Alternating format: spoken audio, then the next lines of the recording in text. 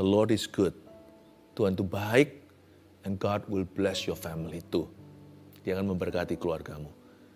Mari kita siapkan hati, siapkan catatan, siapkan pikiran. Seperti yang saya katakan Rabu kemarin, saya akan lanjutkan dalam serian tetap tentang keluarga. Kita buka firman Tuhan dulu kembali ke Mazmur 127. Ya, kalau Rabu kemarin 128, ini satu pasal sebelumnya. Beri judul apa yang mendatangkan berkat Tuhan dalam keluarga. Allah kita itu nyata. Oh iya, kalau Anda belum subscribe, cepat subscribe juga, tekan tombol notifikasi supaya nanti diingatkan, jangan ketinggalan ya. Dan juga jangan lupa untuk like juga. Saya saya percaya channel ini akan menjadi berkat dalam kehidupan Anda. Mazmur 127, saya bacakan dulu ada totalnya 5 ayat. Berkat Tuhan pangkal selamat. Nyanyian ziarah Salomo. Jikalau bukan Tuhan yang membangun rumah, sia-sialah usaha orang yang membangunnya. Jikalau bukan Tuhan yang mengawal kota, sia-sialah pengawal berjaga-jaga. Sia-sialah kamu bangun pagi-pagi dan duduk-duduk sampai jauh malam. Dan makan roti yang diperoleh dengan susah payah.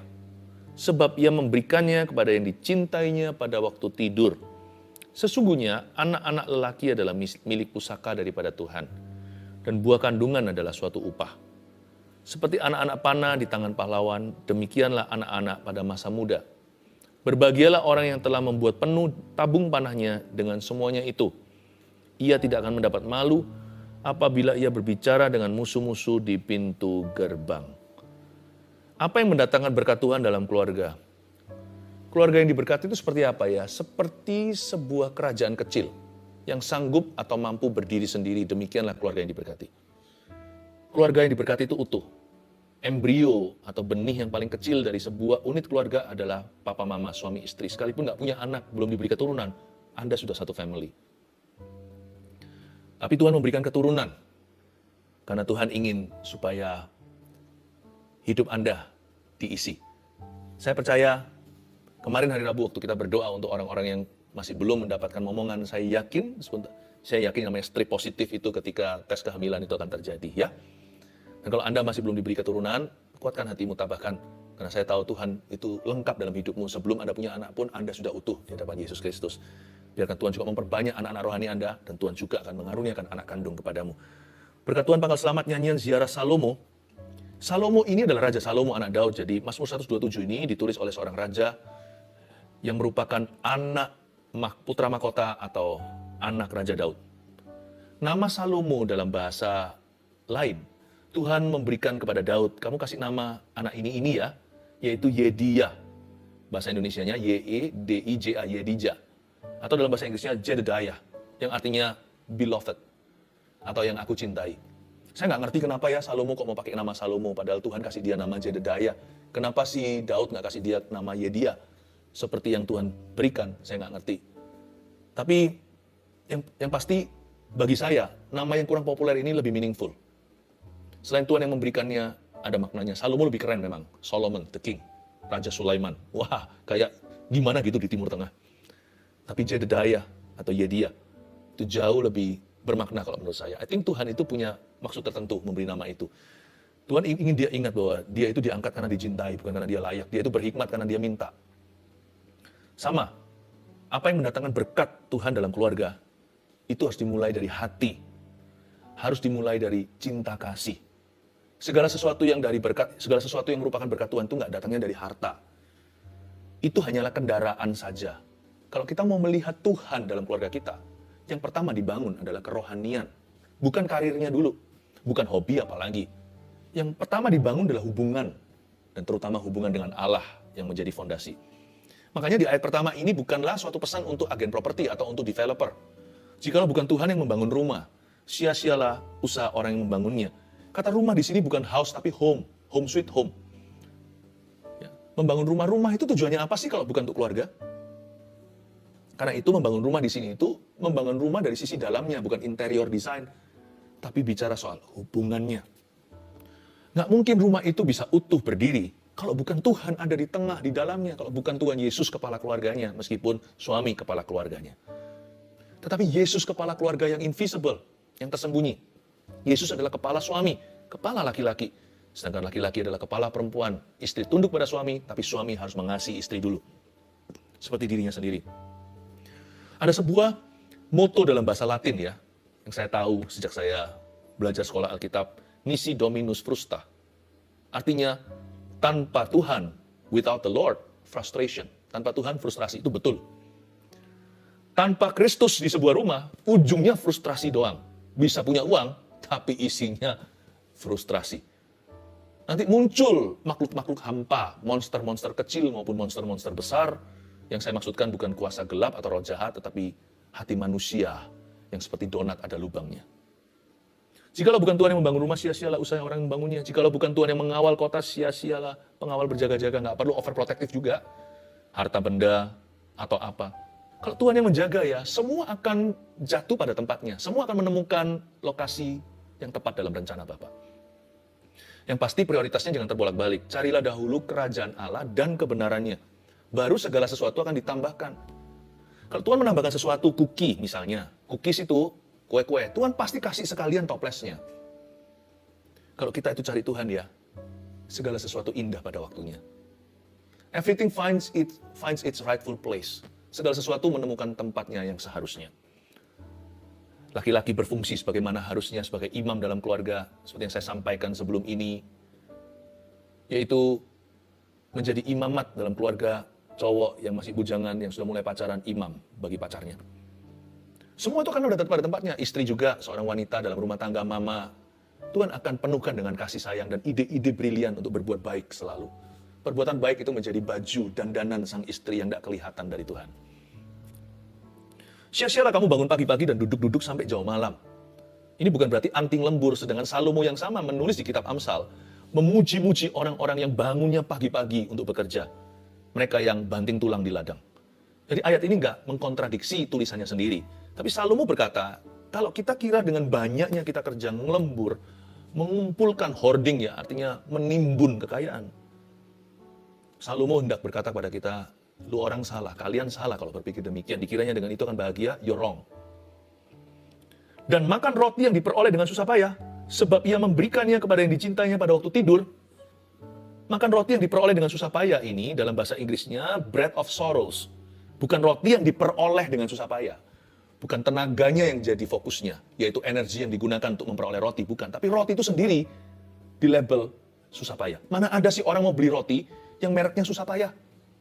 Pasti tulisannya delicious, yummy, yum yum, atau roti apa yang menarik hati. Lihat aja sudah liur ludah. Atau diberi wangi-wangian atau wanginya roti.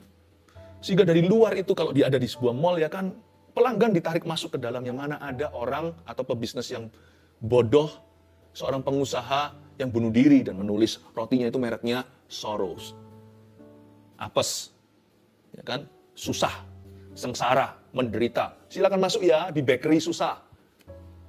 Bakery sengsara atau menderita. Nggak ada yang mau masuk ke situ.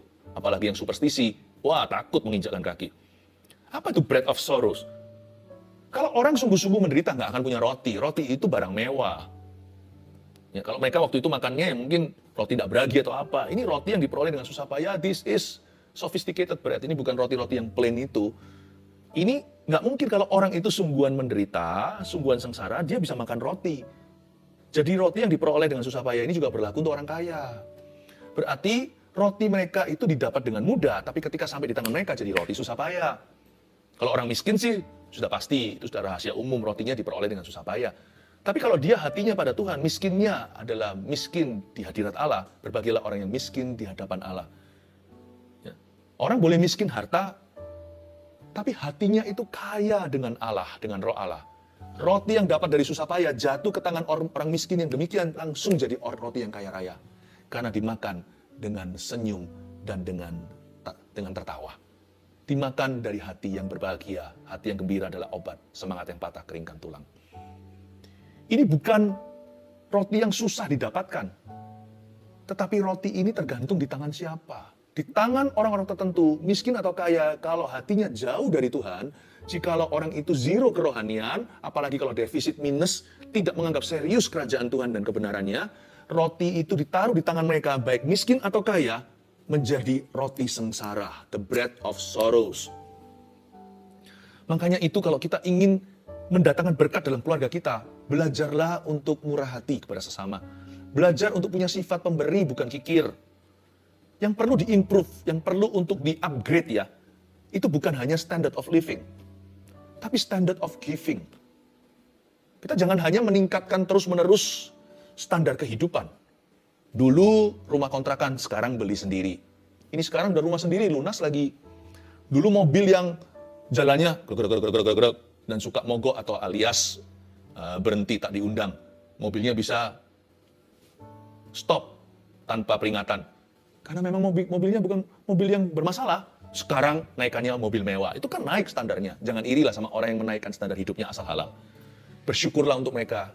Siapa tahu, kita kan nggak pernah tahu, jangan menghakimi bahwa orang itu diberkati karena dia banyak memberi atau banyak menabur. Makanya Tuhan itu menunjukkan kuasanya Jangan pernah kita iri hati. Nggak tahulah urusan orang itu dengan Tuhan. Urusi urusanmu sendiri. Ya. Tapi ada orang yang menabur, kata Alkitab. Ada orang yang menghambur-hamburkan, memberi, memberi tambah kaya. Tapi ada orang yang kikir, semakin miskin. Kita nggak pernah tahu ya. Pokoknya yang penting, kalau kita mau uji, ujilah diri sendiri. Bilang sama Tuhan, lihatlah apakah ada jalanku yang serong, tolong luruskan. Biar aku berjalan pada jalan-jalanmu yang kekal. Roti sengsara, bread of sorrows. Kalau kita nggak mau roti di tangan kita itu sengsara, maka kita perlu juga memperhatikan bagaimana kita memberi kepada orang lain. Keluarga yang nggak bahagia tahu nggak adalah keluarga yang kikir. Dan apa yang tidak mendatangkan berkat, apa yang tidak mendatangkan berkat dalam keluarga kita, yaitu roh yang kikir. Orang yang pelit hati tidak bisa mendatangkan berkat atas dirinya. Mana ada sih orang yang suka memberi dan berbagi itu tambah miskin? Ada, tapi sebentar aja dia akan melihat pemeliharaan dan akan melihat penyediaan Allah. Tapi Anda lihat, kebanyakan malah orang yang kikir yang pelit, yang malah kekurangan. Ini bukan Injil kemakmuran. Injil kemakmuran itu bunyinya begini, ayo memberi pada Tuhan supaya kaya. Nggak ada kata supaya kaya. Memberi kepada Tuhan karena Allah kita sanggup memelihara. Memberi kepada Tuhan karena kita berhutang budi selamanya. Karena kita menerima dengan cuma-cuma, berikan dengan cuma-cuma. Kalau kita ingin mendatangkan berkat dalam ekonomi keluarga kita, kita harus belajar untuk menabur. Supaya roti yang di tangan kita tidak menjadi bread of sorrows, Jangan melulu pikirannya menaikkan standar kehidupan. Bersamaan dengan itu, tidak salah menaikkan standar kehidupan, tapi jangan lupa juga menaikkan standar pemberian. Yang saya maksudkan, belajar jadi orang yang murah hati kepada sesamanya. Belajar jadi orang yang suka membantu, suka mengulurkan tangannya. Orang yang ringan tangan kepada sesamanya. Bantuan nggak tentu dalam bentuk uang. Bantuan itu dalam berbagai macam cara yang kita bisa lakukan asal hati kita bersih, Tuhan pasti buat kita peka. Dan melihat kebutuhan orang lain, Tuhan bisa pakai kita untuk mengisi kebutuhan itu. Nggak tentu materi. Bisa saja memberi waktu, memberi tumpangan, membantu seseorang untuk mengenalkan, atau menemani orang dalam sengsaranya, menjembatani dengan siapa, ya, atau berbagi informasi, nggak tentu materi dalam bentuk fisik. Tapi termasuk juga jika memang itu kebutuhan. Kalau ada orang lapar datang ke kita, minta roti, Masa kita berkata, God bless you my friend, let me pray for you. Yang dia butuhkan bukanlah doa, yang dia butuhkan makan. Lalu setelah itu doakan. Dan makan roti yang diperoleh dengan susah, susah payah. Ini orang yang kikir, yang pelit, yang hanya mau bangun pagi-pagi duduk sampai jauh malam untuk dirinya. Sibuk membangun rumahnya, mengawal kotanya, jaga hartanya. Padahal Tuhan bilang sebab ia memberikannya kepada yang dicintainya pada waktu tidur. Ini maksudnya ya, berkat yang datang dari Tuhan itu nggak datang, tidak ditempelkan bersamaan dengan berkat itu penyakit-penyakit jiwa. Tidak ada yang namanya anxiety sicknesses. Tidak semua penyakit jiwa itu berarti gila. Tidak semua. Ada juga penyakit jiwa dalam bentuk yang paling mulus kita nggak menganggap itu sebagai suatu sesuatu overthinking misalnya. Orang yang terus ke mana-mana was-was, yang menjadi seorang individu yang paranoid, takut ini, takut itu, sehingga tidak bisa bebas hidupnya. Hidupnya nggak bisa happy, nggak bisa plong, dan selalu tercuri damai sejahtera dan sukacitanya. Saya nggak menyebut itu penyakit jiwa. Tetapi tentunya itu bukan normal yang Tuhan kehendaki atas hidup Anda dan saya. Dan berkat Tuhan kalau Tuhan berikan dalam kehidupan kita, tidak diberikan, tidak, tidak susah payah tidak menambahinya. Artinya berkat Tuhan itu akan mengalir alami dan tidak ada embel-embelnya lalu dikasih penyakit itu penyakit ini. Berarti dari sini kita tahu bahwa penyakit uh, panic attack depresi, semuanya itu bukan dari Tuhan datangnya. Tuhan tidak memberi penyakit kepada kita. Sekalipun jikalau seolah-olah kelihatannya sepertinya Tuhan izinkan. Segala sesuatu yang baik dan benar, kata Yakobus, itu datangnya dari Bapak. Jangan sesat, Tuhan tidak mencobaimu. Tuhan sendiri pun tidak dicobai. Karena Tuhan itu tidak jahat, tidak ada pertukaran bayangan. Tapi kalau kita mengalami semua yang saya maksudkan tadi ini, panic attack dan segalanya, udah nggak usah kita cari tahu dari siapa, mengapa. Kata mengapa, pertanyaan itu nggak ada jawabannya. Daripada gitu, tanya aja who. Tanya pada dirimu sebuah pertanyaan satu kata, who atau siapa. Datang pada siapa ketika kita dalam masalah, ketika kita dalam pencobaan, ketika kita tertekan, saat kita berbeban berat, letih lesu juga. Kita datang pada siapa? Jawabannya adalah Yesus. Datanglah kepadaku, marilah kepadaku semua yang letih lesu dan berbeban berat. Aku akan memberimu kelegaan. Pikulah kuk yang kupasang, pikul kuk yang kuk yang kupasang itu ringan. Makan roti yang diperoleh dengan susah payah sebab ia memberikannya pada dicintainya pada waktu tidur. Ketika Salomo jauh dari Tuhan, mungkin dia sudah mulai kurang tidur atau semacam insomnia. Mungkin dia ingatkan. Saya nggak tahu kapan Salomo menulis ini, waktu dia masih masih dekat sama Tuhan, masih takut akan Allah, atau ketika dia sudah murtad jalannya. Tapi yang pasti ini nyanyian ziarah Salomo. Mungkin di hari-hari itu ya. Hari-hari dia memerintah itu ada saat-saat di mana dia nggak bisa tidur. Dia ingatkan, Hai Jedediah, my beloved yang dicintainya. Itu kan namanya sendiri, yang dicintainya. Sebab ia memberikannya pada dicintainya pada waktu tidur, kita nggak sadari. Salomo ngomong tentang dirinya juga, sebab ia memberikannya kepada ia memberikannya kepada Yedia atau Jedediah, memberinya tidur pada waktu tidur. Kalau kita punya anak di benua yang lain, dia lagi sekolah, kuliah, ini harafiah. Kita lagi tidur di situ, tuh Tuhan yang harus jaga anak kita. Karena di situ siang. Bahkan, kalau seluruh keluarga Anda itu di satu kota, tidak antar benua, nggak ada perbedaan zona waktu. Waktu tidur malam hari itu pun, Tuhan yang menjaga seluruh estate atau semua hak milik kita. Baik itu manusia maupun barang. Tuhan yang jaga.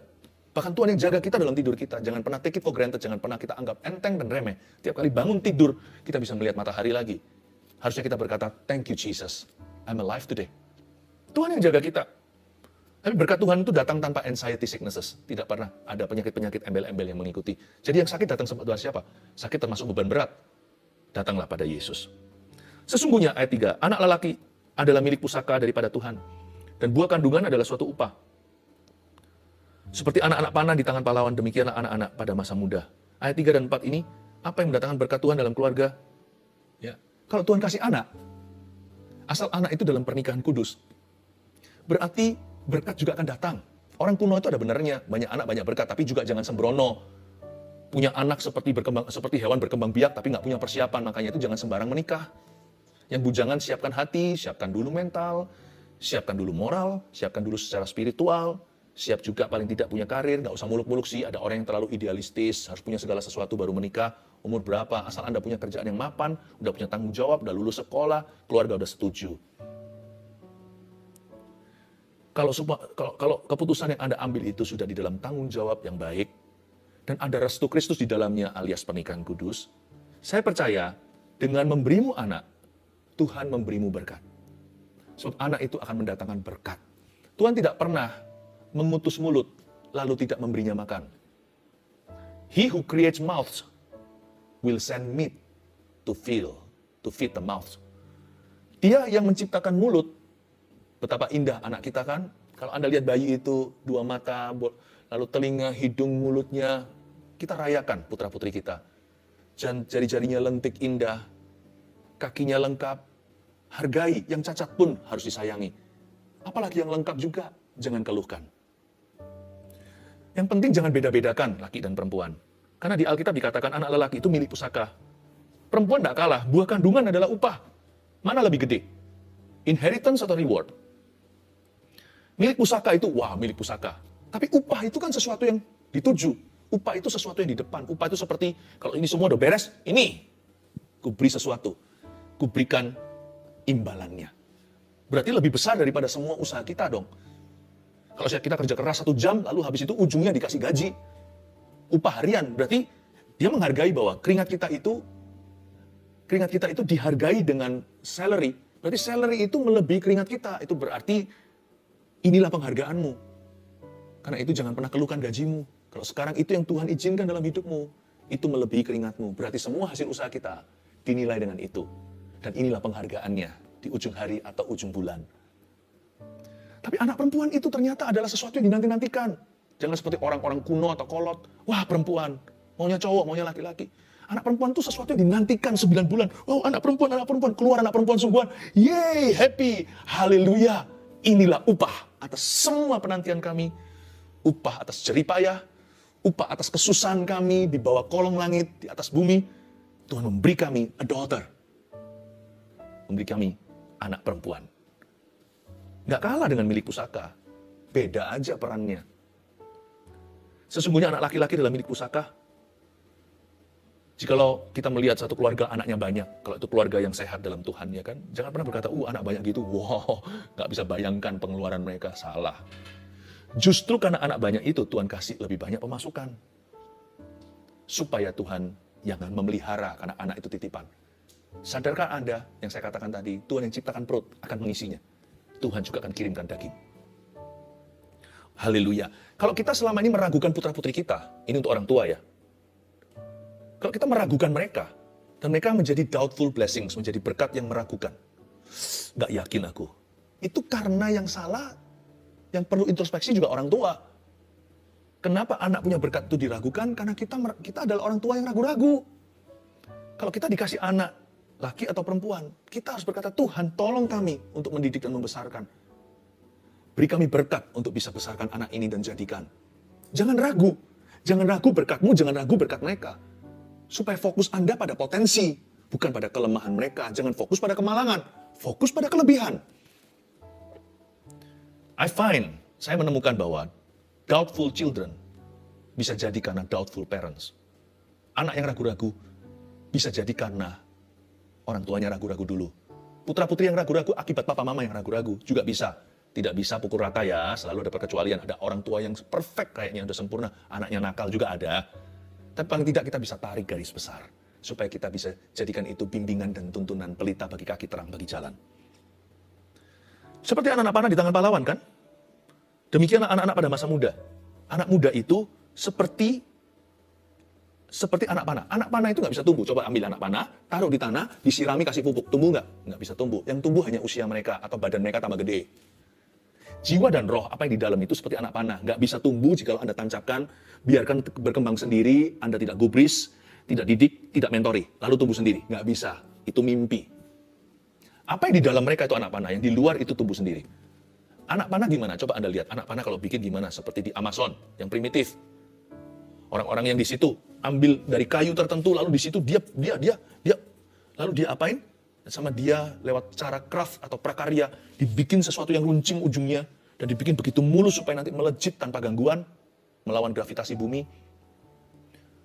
Anak muda atau orang anak putra putri kita yang ditaruh di rumah kita itu harus dibentuk. Harus dibentuk dengan tangan yang mahir. Makanya papa mama harus takut akan Allah, harus dekat sama firman. Tangan kita ini begini terus di atas Alkitab. Seperti orang yang disumpah di pengadilan jangan lepaskan. Maksud saya bukan secara harafiah atau secara fisik ya, Secara rohani ini kiasan. Tanganmu jangan lepas dari Alkitabmu. Matamu jangan lepas dari Yesusmu. Mulutmu jangan lepas daripada berdoa. Karena dibutuhkan a skillful man untuk membentuk anak muda. Dan panah, anak panah tidak bisa cari arahan sendiri. Mereka perlu diarahkan. Mana ada anak panah itu bisa tentukan sendiri mau timur atau barat. Kita yang ambil dan di tangan pahlawan kita yang arahkan kiri atau kanan. Kita yang targetkan. Jangan suruh anak memutuskan sendiri mau kuliah apa. Anda harus pengaruhi dari sejak dia lulus SD misalnya. Jangan biarkan dia terserah nanti cari-cari jalan sendiri. Anda mesti tunjukkan jalan. Ini loh arah, itu target. Ini yang kita mau. Itu yang sesuai dengan karunia dan talentamu. Meskipun dia memutuskan sendiri. Ketika melejit anak panah itu kan tidak di tanganmu. Dia melejit sendiri. Dan dia tahu harus ke mana. Ada satu waktu mereka dilepas harus membuat keputusan. Tapi kitalah yang mengarahkan. Anak panah bukan panahnya. You panahnya, papa mama. Senarnya adalah komunikasi dengan mereka. Berbahagialah orang yang telah membuat penuh tabung panahnya dengan semuanya itu. Penuh. Tabung panah itu bukanlah gentong yang besar. Tabung panah itu terbatas. Tabung panah paling seberapa? Seginilah ya. Taruh di belakang sini. Kalau besar kan namanya namanya ini apa namanya namanya apa itu? Kalau yang kecil di situ berarti tidak perlu banyak anak di sini. A quiver is small and it's full. Dalam bahasa Inggrisnya quiver itu atau tabung panah itu kecil aja, pipih tapi penuhkan. Bicara tentang kuantitas, kualitas bukan kuantitas. Bukan banyak-banyak anak. Kita bukan buka ternak. Tapi berapapun yang kau miliki sedikit atau banyak, arahkan mereka. Tiga, uh, yang berikutnya, ia tidak akan mendapat malu apabila ia berbicara dengan musuh-musuh di pintu gerbang. Musuh-musuh di pintu gerbang ini bukan perang. Maksudnya, kalau dia berbincang-bincang dengan orang-orang di masyarakat, di pintu gerbang adalah tempat orang-orang itu rundingan. Bapak, Ibu, Saudara, keluarga saat itu tercinta, a blessed family, satu keluarga yang diberkati Tuhan, adalah keluarga yang seperti kerajaan kecil yang sanggup berdiri seperti sebuah kerajaan kecil atau kerajaan mini dengan army atau dengan tentara yang bisa melindungi dirinya sendiri. Sekarang kelihatannya kecil, bisa merepotkan. Nanti suatu hari kalau besar, itu menjadi aset dalam family Anda. Hubungan yang baik itu, keluarga itu seperti tim yang tidak bisa digoyahkan oleh dunia. Masing-masing keluarga yang diberkati seperti satu kerajaan sendiri yang tidak bisa goyah. Ada aja dari situ. Belum lagi kalau ditambahkan nanti menantu dan koneksi-koneksi mereka. Wow, keluarga mungkin hanya tiga empat orang, bahkan lima. Tetapi kalau benar-benar dijaga, berkat Tuhan ada, itu keluarga penuh seperti tabung anak panah. Satu, dua, tiga dengan ini saya selesai. Apa yang mendatangkan berkat Tuhan dalam keluarga? Satu, sembah Tuhan dalam roh dan kebenaran.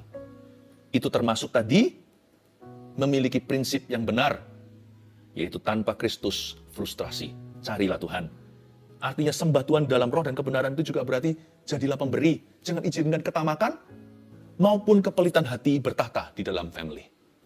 Memiliki kerohanian yang benar. Jangan menyimpang ke kiri atau ke kanan. Persis di jalur Tuhan. Kerohanian yang benar itu berarti juga murah hati. Penuh dengan kebajikan. Sembahlah Tuhan dalam roh dan kebenaran. Utamakan Kristus dalam keluargamu. Itu yang mendatangkan berkat dalam family Anda. Yang kedua, jangan bedakan anak laki, lelaki dan perempuan. No pilih kasih. Sebab di mana ada pilih kasih, ada kejomplangan, di situ ada kesenjangan. Di mana ada kesenjangan, berkat Tuhan tercuri dan bocor ke mana-mana. Itu seperti membuat lubang atau suatu panci yang dimiringkan, pasti jatuh semua dan tumpah ruah. Berkat Tuhan tidak bisa penuh, tabung anak panah itu akan setengah kosong. Kalau kita pilih kasih, kita membedakan anak lelaki dan perempuan, bahkan anak lelaki dengan lelaki, anak perempuan dengan perempuan, jangan pilih kasih. Setiap anak itu berharga di mata Tuhan. Toh nggak punya seribu, kan hanya beberapa saja. Ya nggak punya anak, coba ditanya di interview.